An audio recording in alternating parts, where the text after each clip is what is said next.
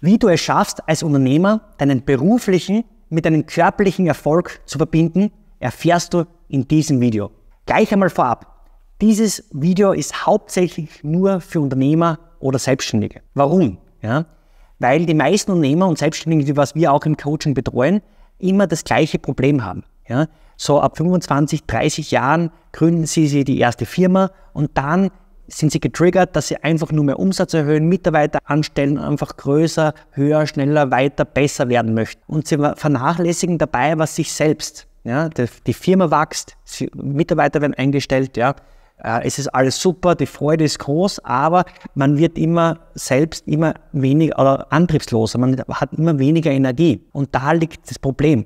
Weil wenn du dich selbst vernachlässigst, als, als dein Körper vernachlässigst, hast du einfach weniger Energie um in deinem Geschäft erfolgreich zu sein. Deswegen ist es so essentiell, deinen Körper und auch den Mindset zu fordern, zu formen, damit du auch in der Firma profitabel bist und auch langfristig erfolgreich bist. Weil du kennst vielleicht, was ist, wenn du mal krank bist oder mal irgendwas ähm, passiert, ja, ein Unfall. Und wenn du dann wegbrichst, ist oft dann die Firma auch, steht dann auch schlecht da. Ja? Du bist das größte Kapital in der Firma. Und das muss dir bewusst sein. Und deswegen ist es wichtig, und das ist jetzt ein Geheimtrick, was wir im Coaching auch immer oft machen mit unseren Kunden, den verrate ich dir jetzt. Der Geheimtrick ist ganz einfach.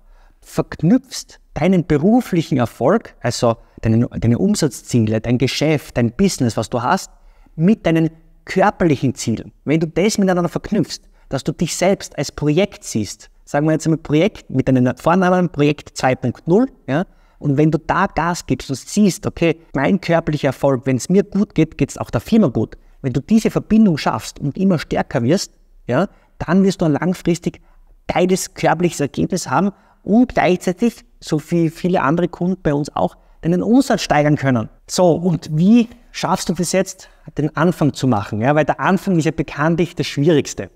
Das Wichtigste ist, ist, dass du dir nicht zu viel vornimmst. Sprich, wirklich die kleine Ziele setzt. Ja, also du hast vielleicht ein großes Ziel, wie im Unternehmertum, du willst so und so viel Umsatz machen, ja, aber als körperliches Ziel willst du vielleicht einen Bauch loswerden oder willst einfach einen fitten, athletischen Körper und gut aussehen in der Badehose. Das ist dein Ziel. Das ist so der Hauptziel. Das ist gut, dass du das, das definierst, ja. Das musst du dir auch irgendwo bildlich vorstellen können. Und das nächste ist, was du machst, ist, dass du dieses Hauptziel in der kleinen Teilzielen runterbrichst, wie im Unternehmertum. Und dann schaffst du es, einfach gewisse Routinen neu zu formen. Bedeutet, Du fängst einmal an, nicht jeden Tag Sport zu machen, sondern du fängst an, dreimal die Woche zu je 20 Minuten eine Sporteinheit zu machen. Du versuchst einmal generell den Zucker weglassen, also du keine Zuckersäfte mehr zu trinken, vielleicht den Alkohol komplett zu reduzieren, ähm, schaust einfach auf eine regelmäßigen, gesunden und zielorientierten Ernährung. Ja.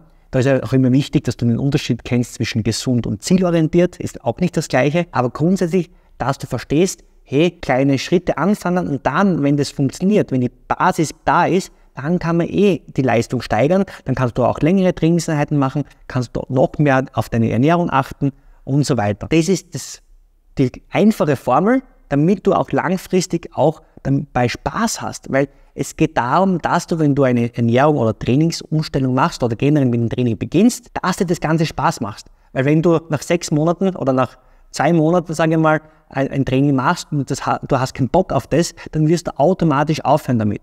Deswegen ist es wichtig, dass du erkennst, welche Aktivitäten machen mir Spaß, wo gehe ich hin, gehe ich lieber Outdoor, gehe ich Mountainbiken, gehe ich laufen, gehe ich ins Fitnessstudio.